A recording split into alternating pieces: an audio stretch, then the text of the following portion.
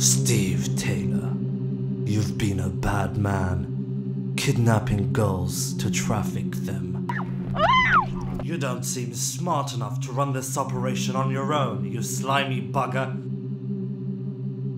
So tell me who is!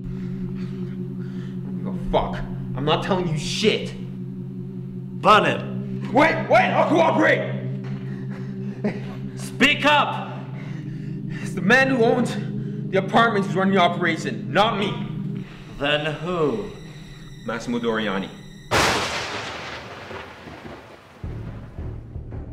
My name is Irv Saint, and I work for the CSIS.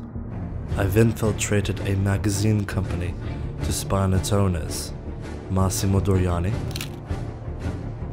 and Enzo Pileri.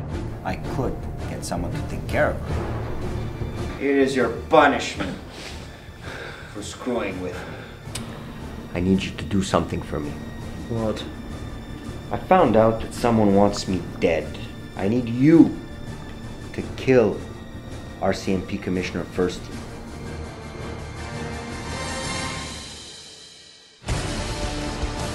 I hope I can trust my new assistant. Catherine Normandy with the RCMP. You must have the authorization from your superiors next time you decide to conduct an investigation on me. I want to make Irv feel this sense of total loss. I heard you were working with the CSIS. Is that true? What you don't see with your eyes, don't witness with your mouth.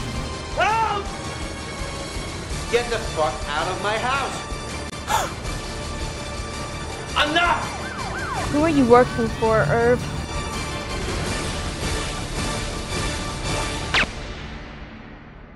May the best schemer win.